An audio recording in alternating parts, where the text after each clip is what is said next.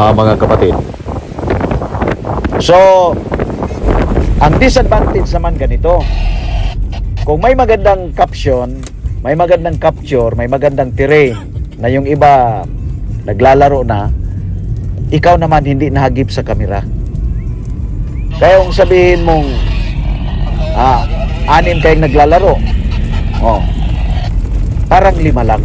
Ikaw talaga, seldom na mahagip ka, maliban lang kung sinundan mo may 360. Kung wala kapatid, out of 6, parang lima lang talaga ang naglalaro. Oh. Tanggapin mo na sa sarili mong ganyan na talaga ang kalakaran. Oh. Kasi wala namang kumukuha ng picture na patalikod.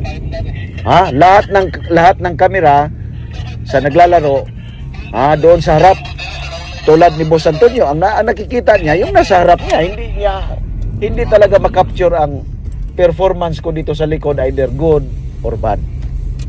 Kasi nga lahat ng camera normally is paharap except doon sa 360 camera kasi parang buong planeta ang nakukuha ng 360 camera.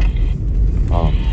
So ganyan mga kapatid ang um, advantage and the disadvantage of uh, being the sweeper. Ito pa.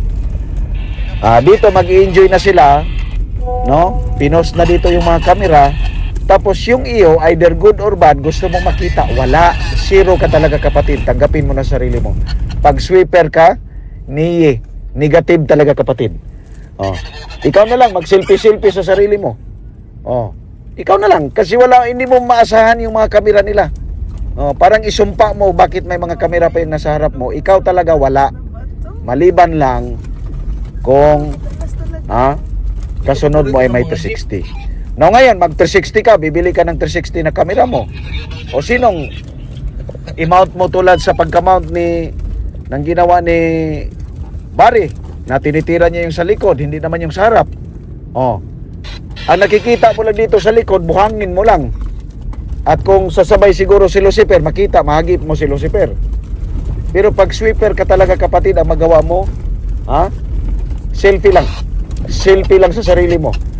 So kaya ang buong kuha ng trail, ha? Magsasawa yung mga viewers mo kasi ang nakikita nila yung pagmumukha mo lang talaga. Ha?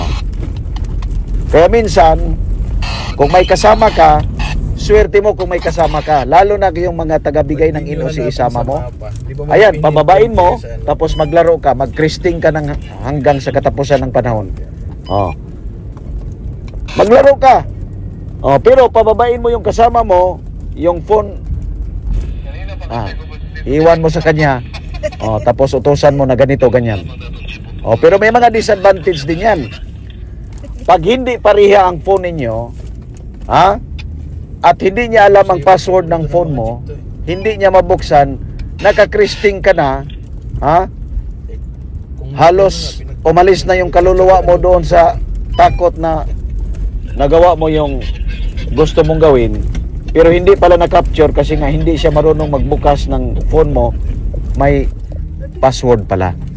Oh.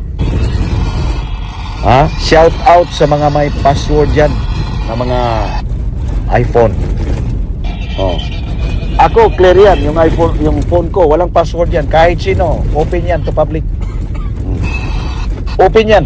Kahit sino magkabukas yan. So, pag ibigay ko kay Marge yung aking phone, alam niya. Oh. Yan. Automatic. O minsan naman, pag lobat ako, yung phone niya ang gagamitin, tapos ipasend ko na lang. Oh. So ito yung mga advantage at disadvantage sa pagiging ha? sa pagiging sweeper. Kaya kung gusto niyo matikman yan, hala, mag-sweeper kayo. Kayo na muna. Ha? Sa sunod, susunod ako doon sa My 360. Alright? Maraming salamat.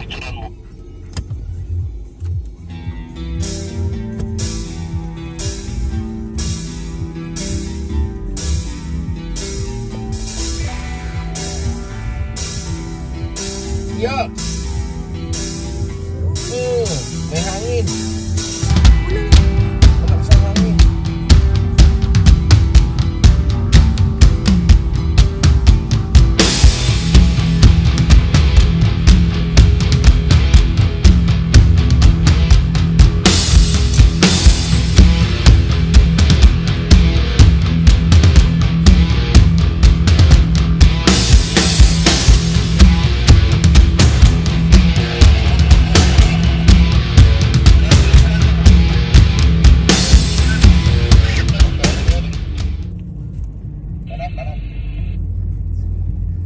Hindi po tayo sila mag-isa.